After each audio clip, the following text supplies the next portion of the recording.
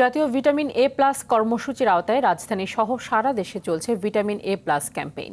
দু কোটি বিশ লাখ শিশুকে ভিটামিন এ ক্যাপসুল খাওয়ানোর লক্ষ্য দেশের সব সরকারি স্বাস্থ্যকেন্দ্র এবং ভ্রাম্যমাণ স্বাস্থ্যকেন্দ্রে সকাল থেকে কার্যক্রম শুরু হয়েছে। ছ থেকে এগারো মাস বয়সী পঁচিশ লাখ শিশুকে নীল রঙের ক্যাপসুল আর বারো থেকে উনষাট মাস বয়সী প্রায় এক কোটি পঁচানব্বই লাখ শিশুকে খাওয়ানো হচ্ছে লাল রঙের ক্যাপসুল। ঝালকাঠি সদর উপজেলা কেন্দ্রে কার্যক্রমের উদ্বোধন করেন জেলা প্রশাসক ফারাহ গুল নিঝুম। ময়মনসিংহে প্রায় নয় লাখ শিশুকে ভিটামিন এ ক্যাপসুল খাওয়ানো হচ্ছে। প্রায় চার লাখ শিশুকে ভিটামিন এ ক্যাপসুল খাওয়ানো হচ্ছে লক্ষ্মীপুরে।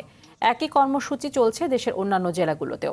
নড়াইল, দিনাজপুরের হিলি সহ সারা দেশে শিশুদের ভিটামিন এ ক্যাপসুল খাওয়ানো হচ্ছে। ভিটামিন এ ক্যাপসুল শিশুদের অন্ধত্ব প্রতিরোধ সহ বিভিন্ন রোগ থেকে বাঁচাতে কাজ করে বলে জানান স্বাস্থ্য কর্মকর্তারা।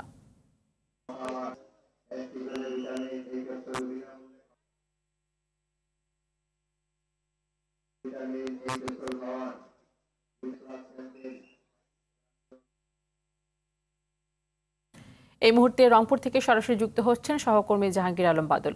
বাদল, সারা দেশে যেমনটি আমরা জানছিলাম যে ভিটামিন এ ক্যাপসুল কর্মসূচি চলছে। আপনি জানাবেন যে রংপুরে ভিটামিন এ প্লাস ক্যাপসুল খাওয়ানোতে আসলে সাধারণ জনগণ কেমন ছাড়া দিচ্ছেন?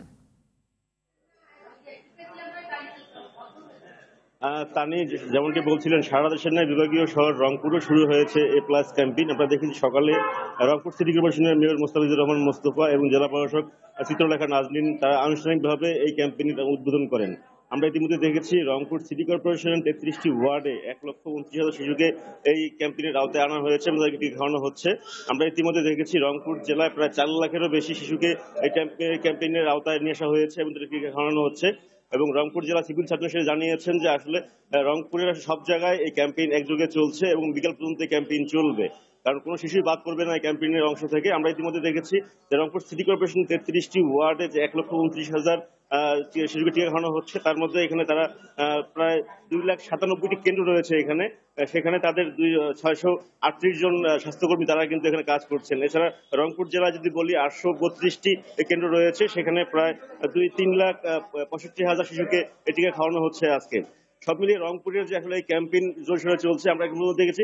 কোনো জায়গায় কোনো মানে টিকার ফলে অসুস্থ হয়েছেন বা কোনো ধরনের অপ্রীতি খবর আমরা পাইনি সব জায়গায় কিন্তু শান্তিপূর্ণভাবে এই ক্যাম্পেইন চলছে এবং এখানকার যারা স্বাস্থ্য কাজে নিয়োজিত রয়েছেন, তারা বলছেন যে কোনো প্রকার সমস্যা ছাড়াই নির্বিঘ্নে তারা কাজ চলছেন এবং তারা আশা করছেন যে শেষ পর্যন্ত তারা ধারা অব্যাহত থাকবে।